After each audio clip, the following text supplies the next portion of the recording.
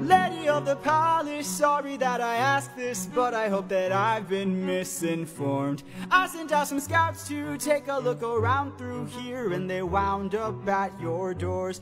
Through the years, we seldom get a warm welcome, so I must ask just to be sure. Did you do something to them? Who, me?